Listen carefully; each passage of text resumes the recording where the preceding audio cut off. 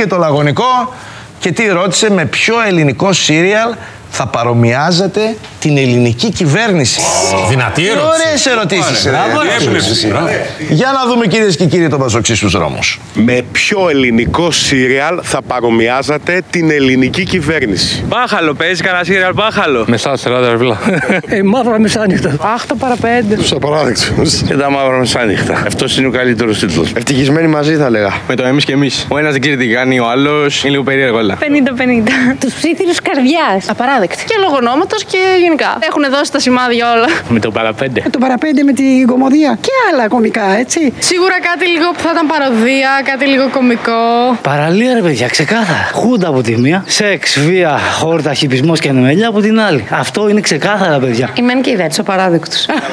Ψυχοκόρες. Κωνσταντίνου και Ελένης. Γιατί γίνεται χαμός. Καθένας ό,τι, ό,τι θέλει, ό,τι κάνει, ό,τι να είναι. Η οικογένεια βλάπτη. Σαββατογεννημένες. Το τι ψυχή θα παραδώσει, ίσως. Ναι. Η απαράδεκτη. Ποιο άλλο; Ένα σύριαλ κομμωδίας. Σύριαλ, δεν βλέπω τηλεόραση. Αλλά από τα παιδικά μου του Καραγκιόζο Μπερντές. Η απαράδεκτη.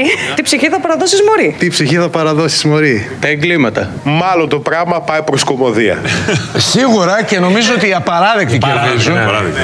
Και τα μαύρα μεσάνυχτα πήγαν καλά και το τι ψυχή θα παραδώσει. Το τι ψυχή θα παραδώσεις, Μωρή, έτσι όπως εξελίσσονται τα πράγματα, νομίζω ότι ίσως είναι το πιο ταιριαστό. τι ψυχή θα παραδώσετε, βρε; Και την ανάλυση Θα για την έπρεπε να παραλία είναι του τύπου ήταν. όνομα επιτροπής στη Βουλή. Η ανάλυση που έκανε ο τύπος για το παραλία ήταν. Ναι, ναι. Είναι δυνατός.